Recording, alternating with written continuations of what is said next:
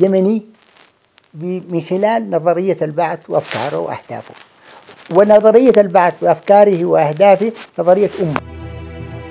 الكثير من الروايات تشير إلى وجد جدل كبير في مسألة علاقة الرئيس الحمدي بالبعثيين وفي إتاحة الفرصة لهم في المشاركة في السلطة خلال تلك الفترة. من كان في واجهة القيادة البعثية في تلك المرحلة يروي جزءا من بعض اللقاءات التي تمت بين البعثيين والرئيس الحمدي أو جزءا من النقاشات والحديث الذي تم بينهم خصوصا في بداية المشوار. عندما تكون أنت آه، قائد وتريد تبني دولة وتبني دولة أنا قلت له هذا الكلام إبراهيم الحمدي في القيادة العامة قلت له أنت إما أن تبني آه، بأدوات حقيقية قادرة متمكنة آه، حتى آه، يكون عندها وضوح ماذا تريد أو أنك تكرر تجربة القاضي. وقلت له كلمة قلت له أضفت إلى تجربة القاضي عبد الرحمن الإيراني التعاونيات. يعني جهاز جديد أتى فوق الأجهزة اللي كانت موجودة. بدل ما تقلل أنت من الأجهزة وتضع جهاز واحد أساسي للدولة بمؤسساتها كان أفضل. على كل حال هو كان يجتهد. اتسع نشاط البعث على كافة المستويات ففي الشمال توغل في مناطق الريف القبلي حيث كان له عناية بأبناء القبائل فشكلت الخلايا في أوساط تلك القبائل وكان له اهتماما في الجانب العسكري وقد أصبح للحزب قطاعا عسكري من الضباط مستقلا تنظيميا. خلال تلك المرحلة أيضا يقال أن الحزب كثف من نشاطه في أوساط الشباب والطلبة وبرز تأثيره واضحا من خلال فعالية الاتحاد العام لطلبة اليمن. طبعا شوف في هذه المرحلة كان آه، لابد للحزب أن يعود خطوة إلى الخلف. مرة, مرة أخرى أيوه يعود إلى الخلف ويبدأ يشتغل بعمل سري. و آه، طبعا بدأ يشتغل بعمل سري في الريف. كوادره وقياداته كانت ملاحقة. فانتقلت للريف وبدأت في الريف. تنظم وتعيد التنظيم وتجهز خلال الفترة كلها. آه، طبعا حتى آه، أنتهى فترة الحمدي. وصار الصراع الدموي الذي هو بين الشمال. يعني آه، باغتيال سالمين ثم الغشمي ثم طيب لا يعني باغتيال هنا طبعا في قصة جديدة طبعا لأنه المشايخ كانوا كلهم وقادة الحزب كانوا حتى مجاهد أبو شوارب كان في حجة. في تلك المرحلة يقال أن العديد من الشخصيات التي كانت محسوبة على حزب البعث العربي الاشتراكي وكانت في السلطة أو الجيش سرحت من مناصبها. وقد كان ذلك في إطار النظرة العامة للبعثيين ومحاولة الإقصاء لهم على كافة المستويات. بحكم الخلاف اللي امتد بدون مسببات ما بين الناصريين والبعثيين هم حركة قومية واحدة. آه وتأثر الشهيد إبراهيم الحمدي بالفكر الناصري ومن ثم تسميته أمين عام مساعد للحزب الناصري. آه أدى إلى أنه يقسو على البعثيين في السجون.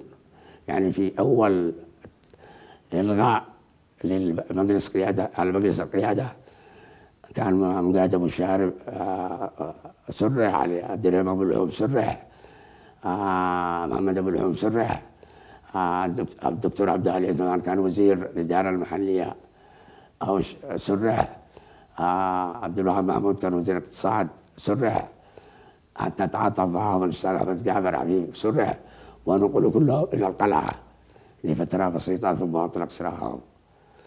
آه فكان نشاط حزب البعث العربي في تلك المرحلة بوجود آه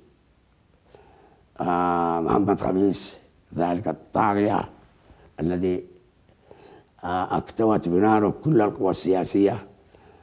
نار حقده ونار تعذيبه وساديته. يعني مارس آه مارست سلطة العبدي على اعتقالات الكثير البعثيين وعلى رأس وعلى رأسهم العسكريين بعض القيادات البعثية البارزة على مستوى قطر اليمن وعلى مستوى القيادة القومية نفسها كأمثال عبد الحافظ نعمان الذي يقال إنه كان الرجل الثاني بعد حافظ الأسد في القيادة القومية. هذه القيادات تتحدث عن مرحلة الرئيس إبراهيم الحمدي وتعترف أن الصراعات الداخلية على مستوى الحزب أبعدتهم عن تقييم التجربة بشكل دقيق. ومن هذا المنطلق يجري الحديث عن التجربة الحزبية بشكل عام وعن برامجها وأنشطتها السياسية في تلك المرحلة والمراحل اللاحقة. هذه المشاكل الذي يعني آه إحنا جعلتنا آه لا نلقي أو لا نقيم فترة الحمد التقييم المضبوط لأن الصراع الداخلي هو ألهانا عن الصراع العام أو المجرى العام للحراك السياسي على صعيد الساحة. هذه من القضايا اللي ما زلنا نعاني منها حتى اللحظة مش بس وحدة كل الأحزاب. الأحزاب اليمنية حتى الآن تتجه نحو الشمولية. يعني تكتسب سمات المرض الشمولي هذا الذي كان موجود في النظام السابق هي الآن تجسده. ما فيش أحزاب في الدنيا تمثل مصالح كل فئات وشرائح المجتمع ما فيش إلا عندنا في اليمن. جميل. الحزب يفترض أن لأنه هو من خلال اكتسابه لهذه الصفة الخاصة بتمثيله لشرائحه الحقيقية.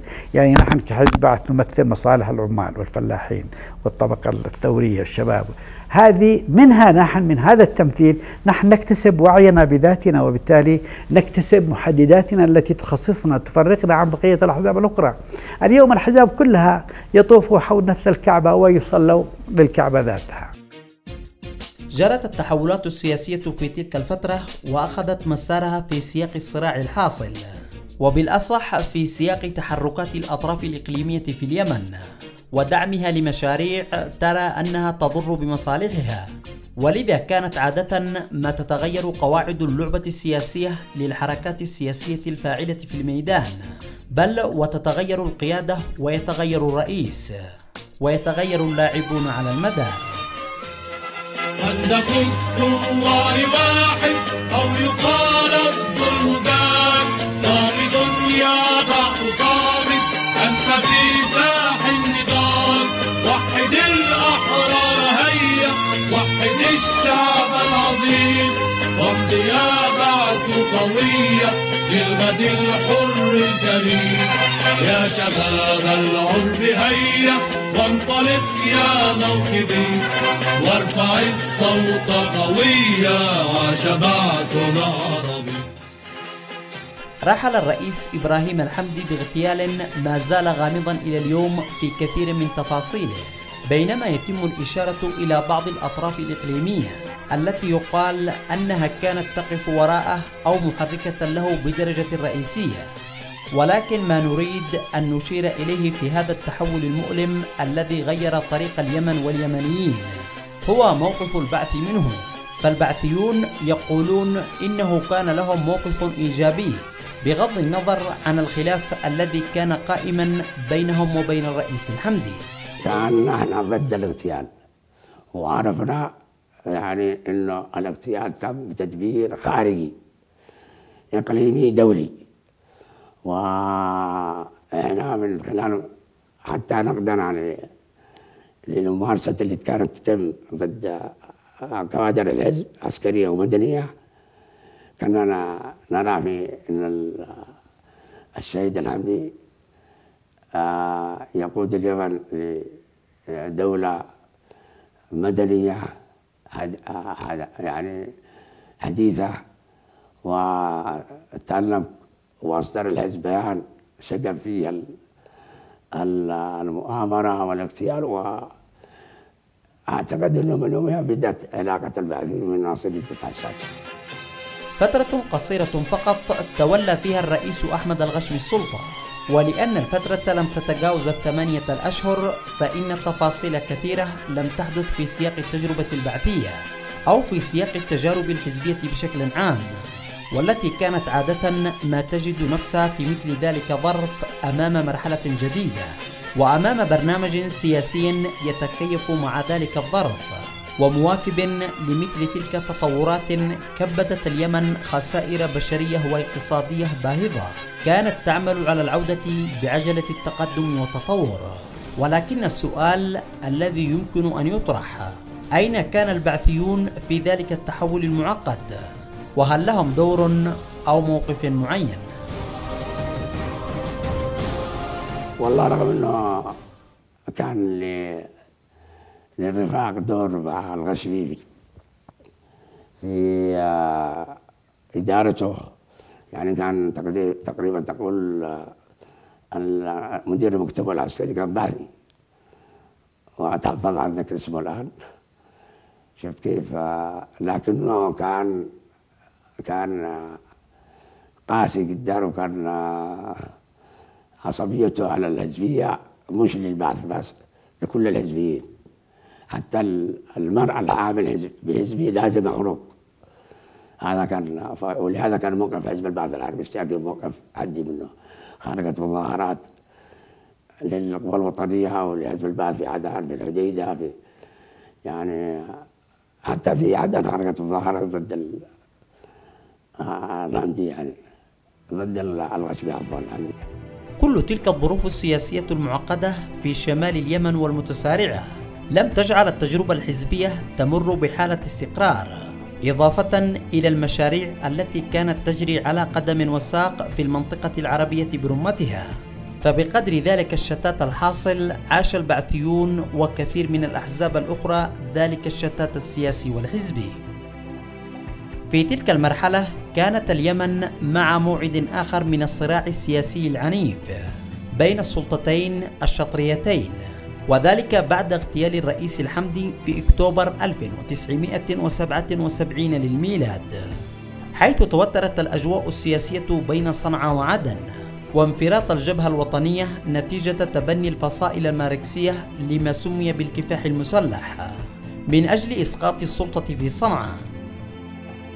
تلا ذلك وبعد تسعة أشهر واثني عشر يوما تقريبا أي في الرابع والعشرين من يونيو 1978 للميلاد.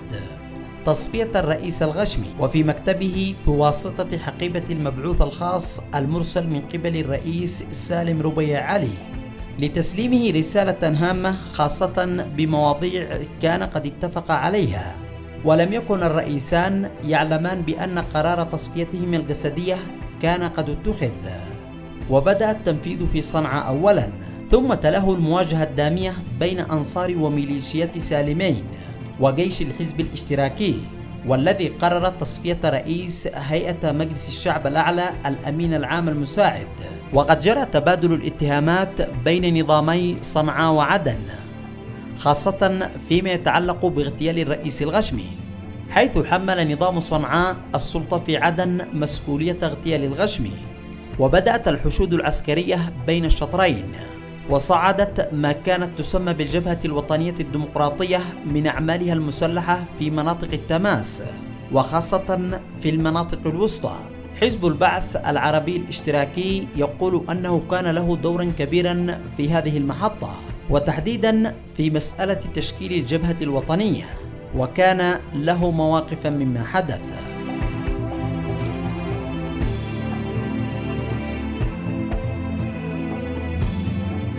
قراءة تجربة حزب البعث العربي الاشتراكي هكذا تبدو شائكة كما هي الأحداث شائكة وكما هو التاريخ شائكا ومليئا بالتوترات والمصادمات التي كلفت الكثير مزيدا من الثمن.